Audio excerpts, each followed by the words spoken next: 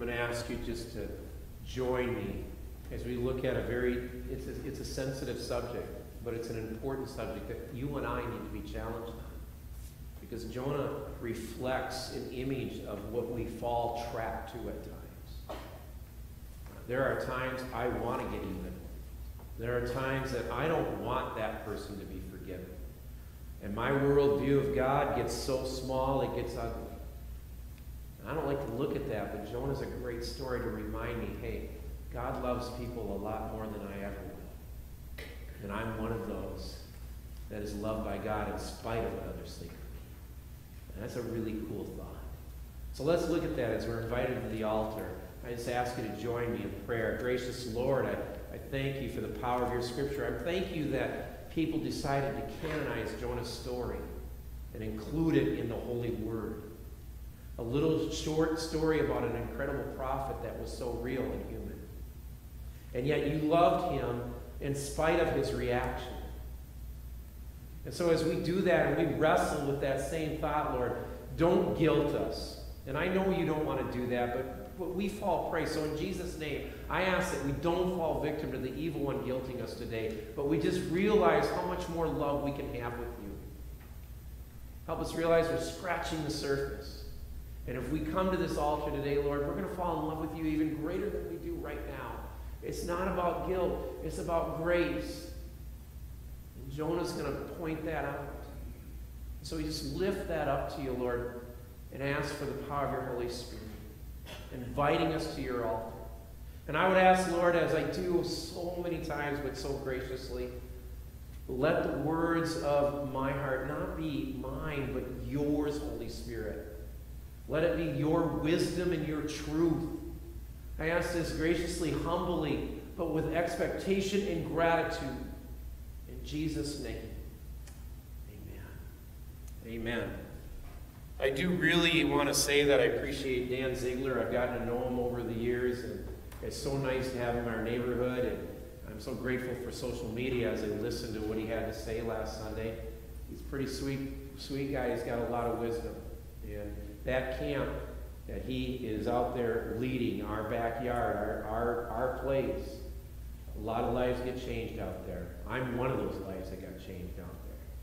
So I'm very grateful for him. But I want to talk again about Jonah today and, and Jonah's story. And, and this is kind of a, a sad part of Jonah. You know, if the story of Jonah ended when he you know, ran from God because he didn't want to go to Nineveh, because he didn't want to preach to them, because he knew God would love them in spite of his feelings for them. And, and, he ran from God and he got on this boat and he sailed into the Mediterranean. And God said, You're running from me. You need to do my purpose, my will, because it's always best. And there's a lot of truth to that. Every bit of that is true. And, and the storm comes up, and Jonah goes into the sea, and the whale swallows him. And, and then he gets spit out, vomited out on the sea of the Mediterranean. And he goes and does God's will. And the story ended. It just ended there. Wouldn't that be a great story? We'd be like, oh, that's so neat. You know, we can run from God, and I don't know if I want to be swallowed by a whale. That just doesn't make good sense to me. I, I, the smell alone would kind of mess me up. But, but I, I, you know, I run from God, and, and I get saved by God, and, and God redirects me back to where I need to be, and, and I'm happy, and the story ends. But that's not how Jonah ends. There's a whole other couple of chapters that are not good. Jonah goes to Nineveh and he preaches with sincerity. He tells them that God is a loving God. And, and we are people now on this side of Easter, on this side of the resurrection, and we know that. And we're like, yeah, no matter what I did, I can't run from God's grace. There's nothing that outdoes God's grace, in spite of what other people might uh, drill into me and, and mislead me and deceive me. God's always loving me. And, and Jonah knew that because he's a prophet, he's a man of God. He knew that these Ninevites would be forgiven. And you got to understand, if you don't remember a couple of weeks ago, the Ninevites were, were ugly people to the border towns of Israel. Really ugly people. They were at war with Israel. And they would go into the border towns and they would take what they wanted and they would kill the young men. They would do harmful things to the women. You can let your imagination fill in the. And then they would take the goods and they would go back to Nineveh. This is not a place you want to go and preach the forgiveness of God. This is a place you want to go and preach the wrath of God. And, and the reality is, this is hard to say because I don't like it. But it's what the church is like today. And I'm not just, this isn't about pinpointing Grace Church. It's the Christian church. We are not filling up because people are always saying, oh, I don't want to go to church. I want to go to Christian church. All those people there, they're judgmental and they all think that I'm a sinner. And, and I, just, I don't want to go there. If, if that's the view of the Christian church, I got great news for you today. I really do. You're in the right place. You're in the right place because that gets uncovered today. Sometimes the Christian church is like that log at the bottom of the wood pile. Uh, we had a fireplace when I was growing up, and I was always the one that had to go get the wood for the fireplace because we had a fire family nights, and we'd go and I'd go out and get the firewood, and, and I'd get down to the bottom of the pile. You know what I'm talking about? And, and the wood at the very bottom, it's been sitting there, it's dry, you know it's going to burn really well. It's going to be a nice fire. I love seeing big fires. Anyway, you get down to the bottom and you pull that wood up, and, and underneath it, as daylight reveals the dirt that's underneath it, all the bugs and stuff have been living there and they all scatter because the daylight reveals it. That's what we're looking at the image of the church sometimes. I don't like it. I don't want to preach it. I don't even want to point it out. But sometimes that's what it's like. We, we go into this community and, and they look at us and they're like the bugs and they say, Ah, what are you doing here? And I want to turn to them and say, The same reason you're here. I want to get saved. You should too. But that's what it's like. And Jonah just reflects that. You see, the problem is with Jonah, he's got this little wrapped up view of God, and God wants a world view of love and forgiveness. He wants a world view of grace. And so Jonah, he goes into this city in Nineveh. And there's a couple of interesting things that I want to point out that I've learned over the last number of years about this. I don't know if it's true. Scholars believe it's true. There's evidence of historical documentation that point this out. But just before Jonah went into the great city of Nineveh, they had two seasons of drought. And the drought, because of the lack of food in Nineveh, that's why they were plundering the border towns of Israel so hard too, because they wanted food. But the drought and the lack of food, food brought plague to the city of Nineveh. So they lost a lot of people to disease and famine. They also think that there are records and other historical documents around Jonah's time of his preaching. And we just went through this. That's why I want to point it out. I didn't get to see it, but some of you got to see it in the full daylight of it. Uh, there was a solar, a full lunar eclipse just before Jonah went in to the city. And people didn't know how to read that lunar eclipse. That only happens once in a lifetime. Some of you got to see it. I saw the uh, pictures on Facebook. And, and they didn't know what to think. And in the midst of these two plagues, the lunar eclipse, Jonah comes into the city and he's sincere. Even though he doesn't want to be, he's sincere. That's a whole other message. How many times have we gone after God's will? We know what God's will is. We know we should forgive that person. And, and, we want to be sincere because we love God. We understand what God did for us, but we just don't want to do it. But we're sincere because it's the right thing to do. Jonah preaches the word of God. He marches through the city and calls them to repent. And all of a sudden, the king, even the king of Nineveh, chapter 3, I didn't have Faye read this, but chapter 3, verse 6, even the king of Nineveh says, Hey, this is our opportunity to get right with God. We have been plundering Israel for how many years because our drought plague? We've seen this moon thing we don't know about, and we have a chance to say that we can save ourselves because the Israelites have shown us that God is real. And the king says, Call a fast. Puts sackcloth on and he sits in ashes and he tells the people in Nineveh, take this real. Genuine. Genuine. Don't just take this as some sort of religious hocus pocus. Don't take this as a religious habit.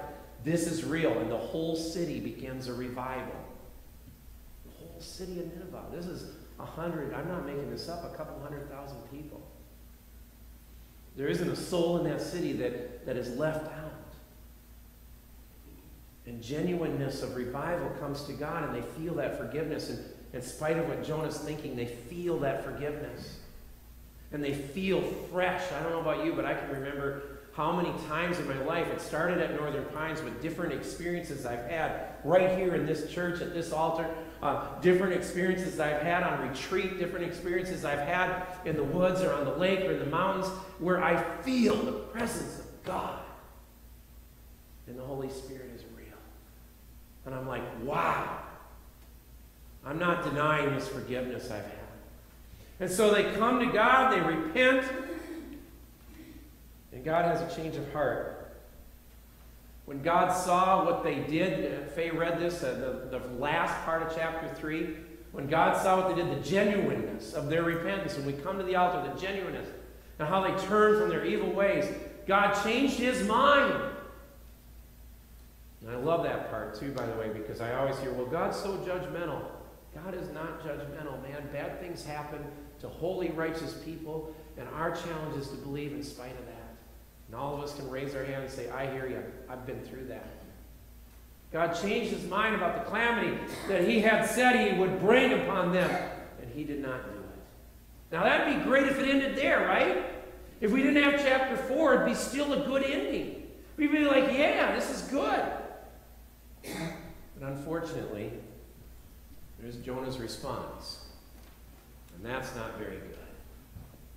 Now we lift up that piece of wood at the bottom of the wood pile, and we see the bugs just scatter. And Jonah responds, and he just kicks his feet, and he says, Great! I knew you'd do this, Lord. I knew that your love was greater than my love. I knew that you would not let them uh, get punished for everything they've done to the nation of Israel. I knew that you are so just, so merciful, so grace filled, so loving. And now they're going to get away with it. They're going to get away with it. And you're going to forgive them. And I'm really not happy with that. Our view sometimes of God is so isolated, it's so little. I'm there too. I'm talking to me as much as you. I get so small in that view, and I'm like, well, I know God loves me, but I'm not sure God really loves you right now. And God says, really? That's your view of my cross, Pastor Bob? That's how little it is? Do you not know that I love everyone? Do you not know that I love them as much as I love you? Yeah, but I don't like that. Well, that's okay. Now let's work with it and go from there. Because grace abounds. Let's move from there and start maturing. Listen to this conversation. It's so real. I love the God's Word because God's Word is always real. It's like exactly what I'm looking at. And so Jonah prayed to the Lord. Now, when he says pray, he's having, I don't know about you, but I have these conversations with God too this is an interesting part because this is a side note. But often when we pray, we're mad at God for something. I'm serious, we are. I know I am.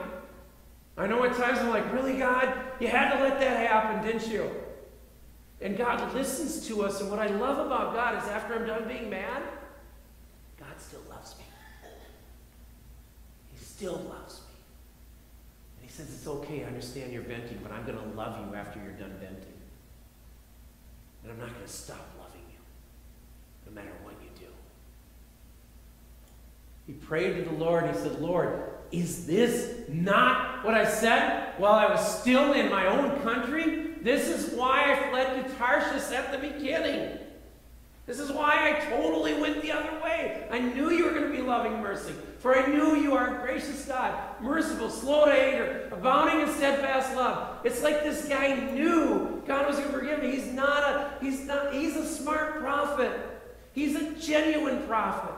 He knew when he preached it genuinely, these people were going to take it serious. Abounding in steadfast love, ready to relent from punishing.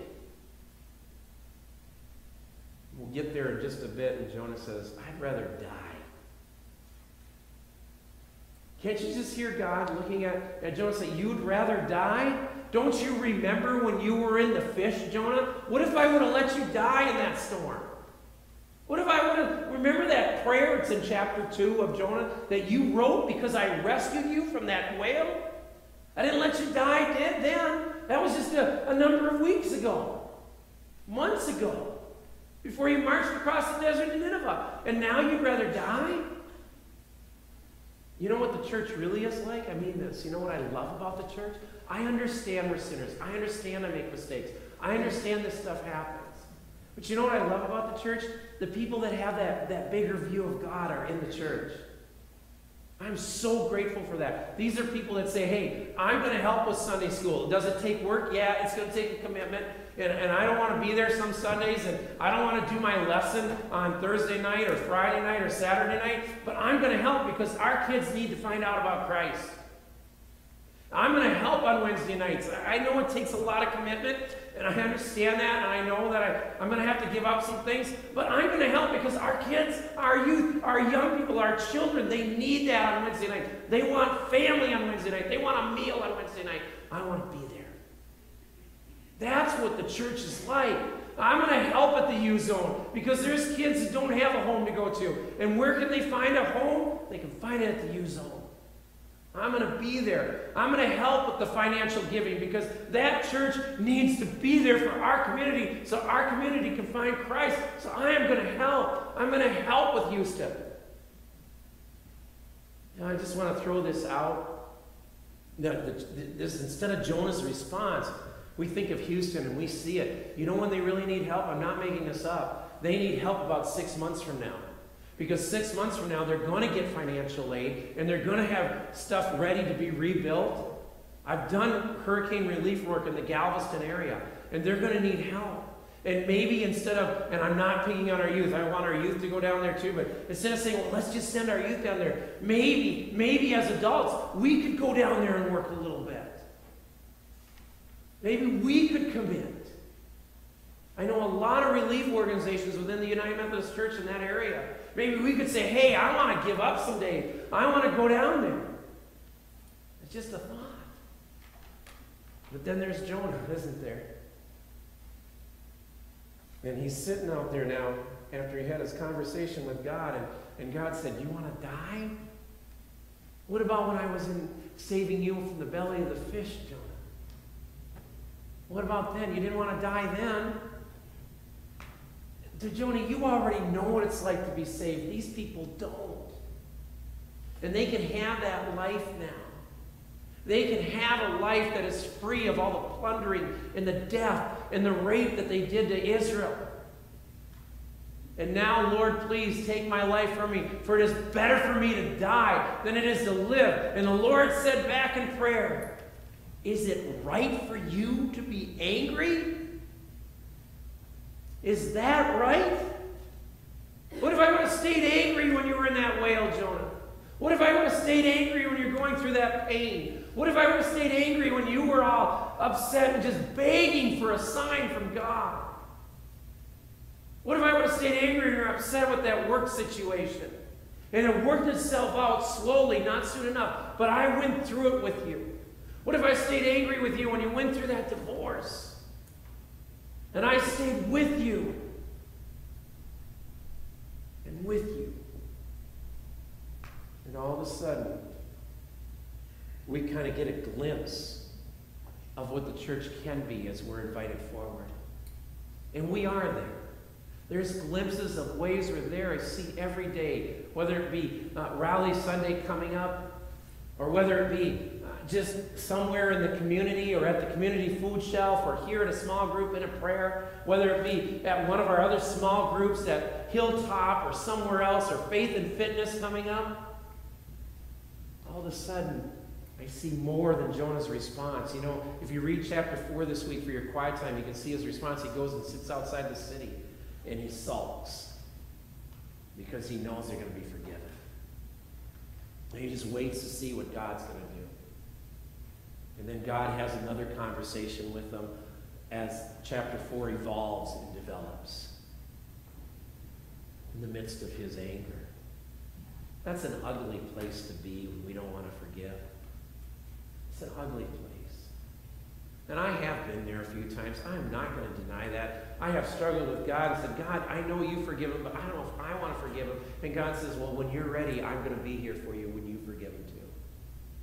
And until you get there, Pastor Bob, I'm going to love you all the way there. And I'm going to keep loving you. Isn't that wonderful about God? That's the good news we get to come up to today. That's the beauty of the response today. Even when I'm a little misfit, God says, I'm going to love you. And I am not leaving you.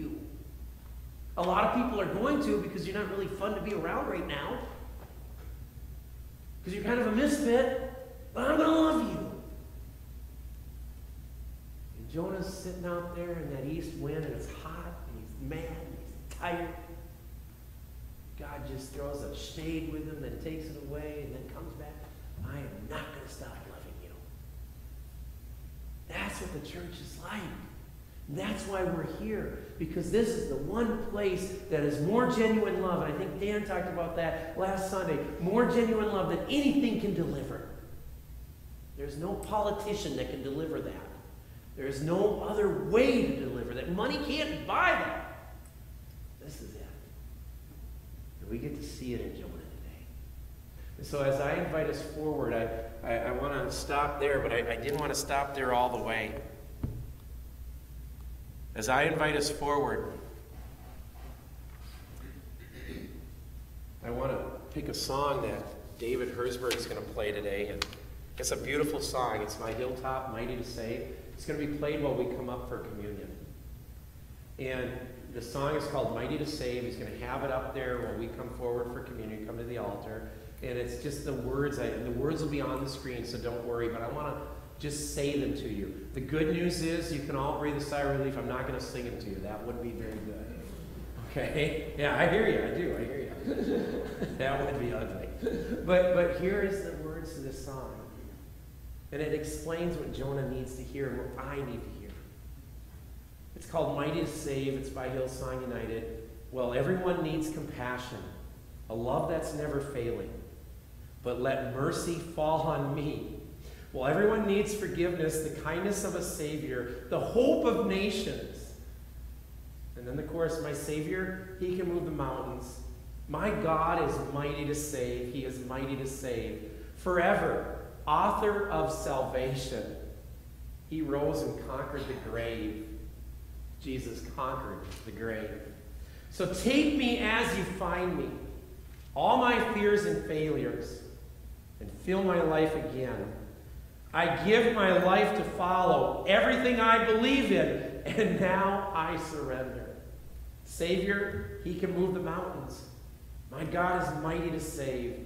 He is mighty to save. Forever author of salvation. He rose and conquered the grave. Jesus conquered the grave. Those are the words